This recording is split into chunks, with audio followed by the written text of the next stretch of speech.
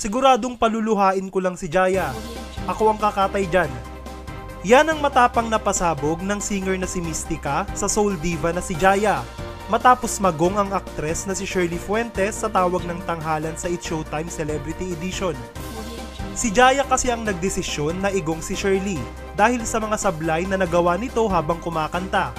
Humingi naman agad ng paumanhin si Jaya sa kanyang kaibigan. Napanood ni Mystica ang nangyari kay Shirley sa tawag ng tanghalan. Nasaktan ito para sa kanyang malapit na kaibigan. Kaya sa pamamagitan ng Facebook ay hinamon niya si Jaya ng isang showdown. I dare her. Kung biritan din lang ng luha, siguradong paluluhain ko lang si Jaya. Ako ang kakatay dyan. Wala raw akong karir, kaya iris kong pagong ang sarili ko sa tawag ng tanghalan. Ang tanong, magkano? Sa halagang barya-barya lang, tapos ipakatay ko ang sarili ko sa mga judges, na kapwa ko rin celebrities? For what? I don't need to prove my singing profession anymore. Di pa nag-uumpisa ang labanan na ilang paso ko na sa kubeta ang soul diva na si Jaya.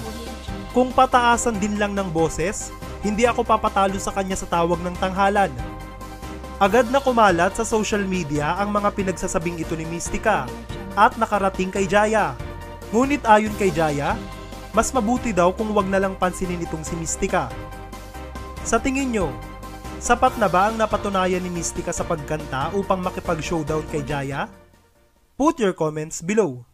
And don't forget to subscribe for more videos.